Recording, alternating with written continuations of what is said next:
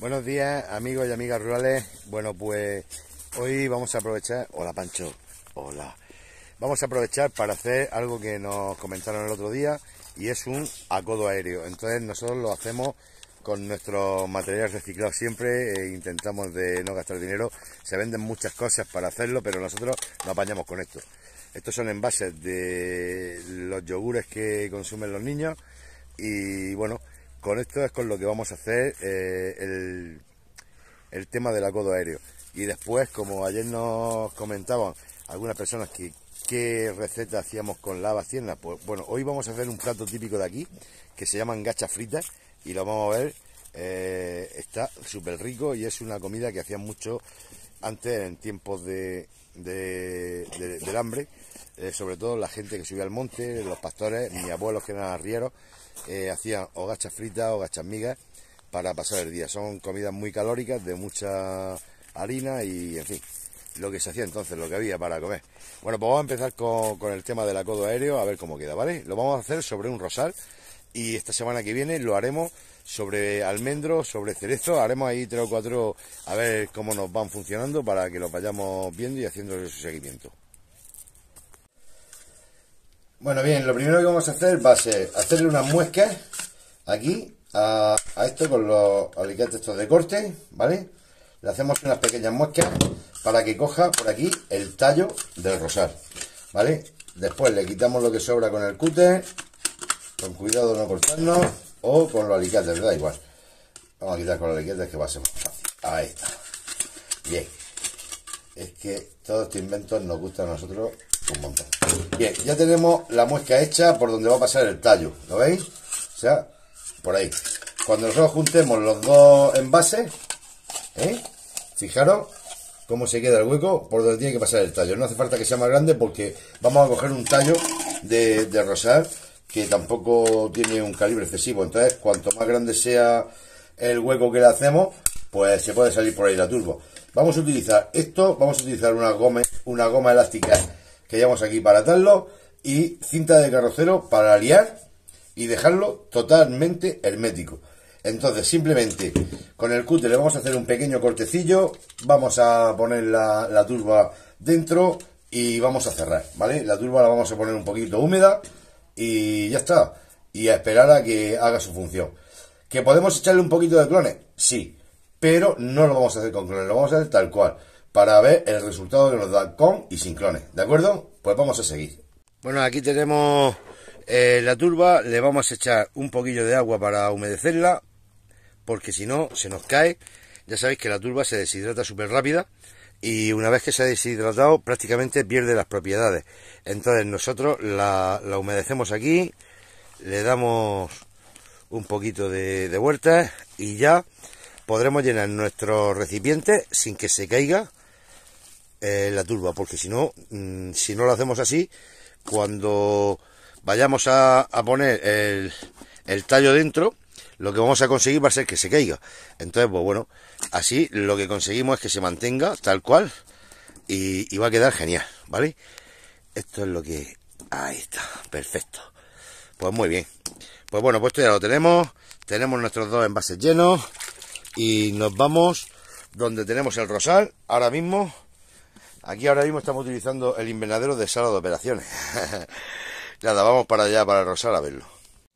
En este caso vamos a elegir un tallo que esté fuerte, que sea un tallo viejo, que este mismo vamos a utilizar. O sí, este, vamos a utilizar este tallo, ¿vale? Entonces lo vamos a limpiar un poquito y vamos a hacer ahí nuestro acodo aéreo. Bueno, ya lo tenemos limpio de hojas y ahora vamos a hacerle aquí unas pequeñas hendiduras en la piel, ¿veis? Súper finas, ¿vale? Le hacemos ahí una hendidura, aquí le hacemos otra.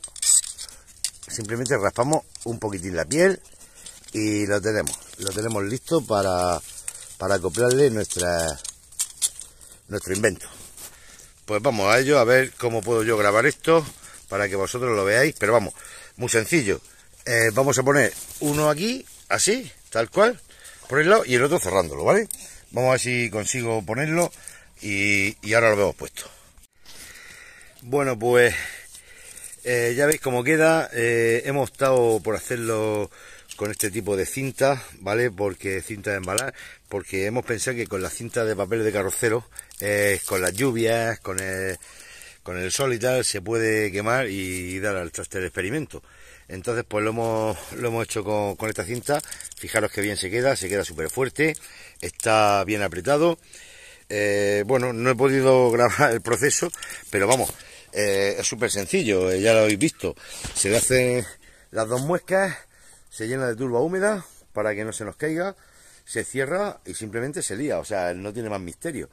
Vamos a ver cómo funciona y bueno, esta semana lo haremos eh, en varios en varias cosas, en varias especies. Lo vamos a hacer en almendro, lo vamos a hacer en un tallo de, olivo, lo vamos a hacer en un tallo de cerezo. En fin, vamos a hacerlo en varios sitios. Vamos a ir haciendo pruebas eh, para ver en cuál de ellos funciona de la mejor manera y, lo iremos viendo por aquí, lógicamente. Entonces ahora, pues como tenemos que ir a hora de comer, nos vamos a ir prácticamente ya a preparar nuestra casa frita. Os van a gustar. Vamos a ver lo que pasa. Bueno, por supuesto que como uno de los ingredientes que vamos a utilizar para nuestra gacha frita es sin duda las habas tiernas, pues vamos, vamos a coger unas poquitas y cuando las tengamos nos vamos a, a nuestra cocina y vamos a empezar a prepararlas. Eh, recordad que, que, bueno, que vamos a, a, empezar esta semana con el tema de las semillas de, de naranja amarga para hacer, para crear nuestros pepiteros y para verlos crecer desde el minuto cero. ¿Vale? Vamos a hacer eh, el pepitero desde lo que es la semilla, vamos a hacerla eh, germinar, vamos a crear ese árbol borde para injertar y una vez que lo tengamos creado, pues bueno, vamos a, injertarlo, vamos a, ir ya cogiendo alguna haba mientras que lo explicamos, lo vamos a injertar y lo vamos a ir preparando para formar eh, un mandarín, un naranjo, un limonero, vamos a hacer uno de cada clase. Y entonces, bueno, pues he pensado Fijaros que va más buena, ¿eh? He pensado que, como hay muchas personas que me preguntan si se puede cultivar en una maceta un frutal, un cítrico, por supuesto. Entonces lo que vamos a hacer con eso, los vamos a crear desde cero y los vamos a cultivar hasta que den cosecha en maceta. Sé que el seguimiento es largo, pero bueno, tampoco tenemos prisa. Si nosotros estamos aquí todos los días. Entonces, pues vamos a hacer eso. Vamos a, coger y vamos a, mm, hacer que, que las personas que, por ejemplo, tienen una terraza pero no tienen un jardín, eh, puedan cultivar tanto sus frutales como su verdura eh, en macetones. O sea, tampoco es necesario que sea una maceta excesivamente grande. Hombre, lógicamente, a mayor volumen de, litros de, tierra o de turba, eh, lógicamente irá mejor, pero vamos, que tampoco es una cosa que sea eh, imprescindible de que sea grandísimo, ¿vale? Entonces, pues vamos a ir mostrando esta primavera sí que vamos a cultivar, a pesar de que nosotros tenemos el terreno y podemos cultivar el terreno, pero en diferencia a esas personas que no tienen, vamos a cultivar tomateras, eh, vamos a enseñarles cómo cultivar sus tomates en, su terraza, en su balcón, y, verán que dan unos, unos resultados totalmente excelentes, o sea, mm, perfectamente pueden cultivar su verdura en casa que no tienen ningún problema para hacerlo, ¿vale? Entonces, pues bueno, eh, ya tenemos aquí parte de, los ingredientes que vamos a utilizar rurales y nos vamos a poner enseguida manos a la obra. Y nada, como siempre deciros eh, si os gusta el vídeo, dar me gusta, compartir. Eh, estamos muy pero que muy contentos de que cada día haya más personas que interactúan, haya más personas que preguntan, porque si, si no hay preguntas, si no hay interactuación, verdaderamente el canal este, el sentido sería mínimo, porque solo lo que intentamos es compartir los conocimientos y al mismo tiempo que compartimos los conocimientos también aprendemos de otras personas que tienen, digamos, experiencias que nosotros no hemos vivido nunca. Por, tanto sea por la zona geográfica como por el trabajo que realizamos o por el cultivo que nosotros tenemos aquí eh, y ya tienen allí es diferente totalmente al nuestro.